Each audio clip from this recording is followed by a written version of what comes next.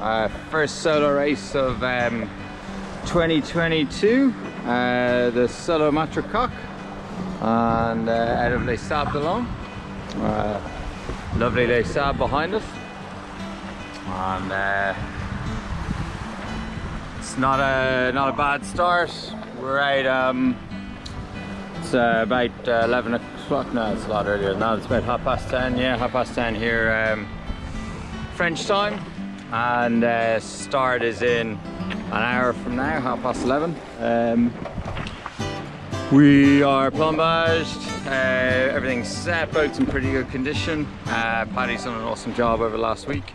And um, yeah, it looks like it's going to be a kind of relatively classic solo Maitre So downwind through uh, inside of Ile de Ré, round Ile de Ré, to the bridge, then upwind after that, uh, with hopefully the wind going more into the northeast tonight, and then it's pretty much a fetch all the way through the night, all the way up to um, Belle-Île. So uh, be nice if that's the way it turns out. Um, and uh, yeah, uh, looking forward to getting back in on Thursday, hopefully sometime around Thursday lunchtime. And uh, yeah, see how today goes and uh, see how this race goes.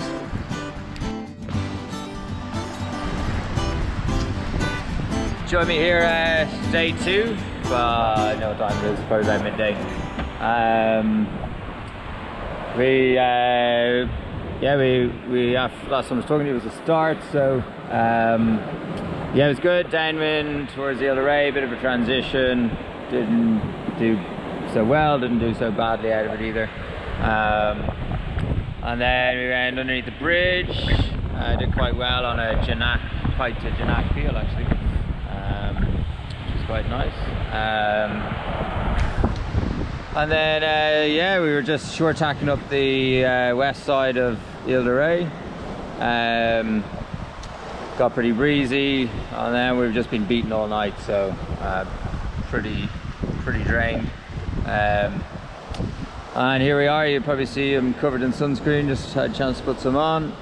And uh, we are on the way back south, which is nice. So we've gone around Belle-Île. Sun's out. The big rolling waves that were horrible to drive in last night are now uh, now quite pleasant. Surfing down them, it's quite nice. Um, kites up, sun's out. And uh, yeah, all good.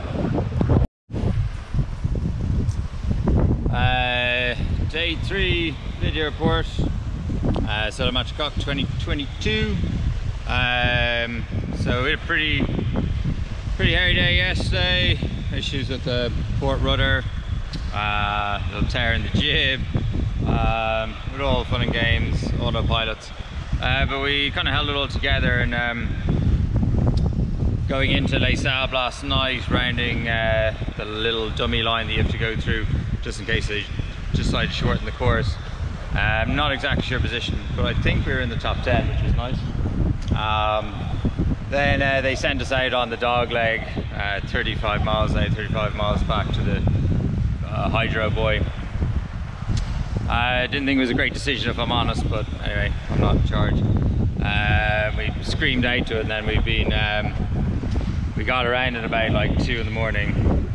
10 hours later, it's half 12 and we've been drifting around in no wind all day and um, breeze has finally come in and we're we're on the last stretch now into the finish.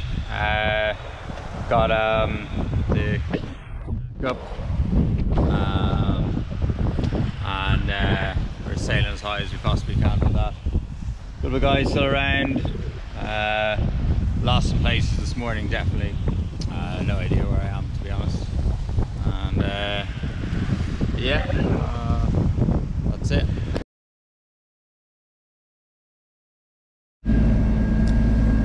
Morning, it's um, hmm, time is it?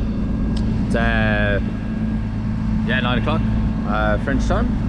Uh, Saturday, so um, we finished the the offshore race. Had a day off yesterday, which was which was awesome. A lot of sleeping, a lot of eating. Um, and we're out here today for um, coastal race. A short race. They've given us uh, a banana, which is uh, essentially two laps of a windward leeward. Um, the weather is, is very unstable. Um, it's uh, just, we just don't know what's going to happen at the moment. We've got a, a westerly, or sorry, an easterly breeze uh, coming off the land. Um, it's due to come right as the day goes on and eventually fill in from the the west into the northwest for tomorrow. We actually have tomorrow we've got a good bit more breeze from the west northwest for our other coastal race. Um, yeah, so two laps, windward leeward. Um, really is anybody's guess what's actually going to happen, and um, we're out, we're set. Uh, recharged the boat, recharged the Kenny, and um, yeah, feeling good. Uh, no massive repairs to do after the, the big offshore, and uh, yeah, we'll see how today goes. We'll uh, try and update you if we can, but it's an inshore race, so it'll be pretty intense. Um, probably won't get a chance to have the camera out.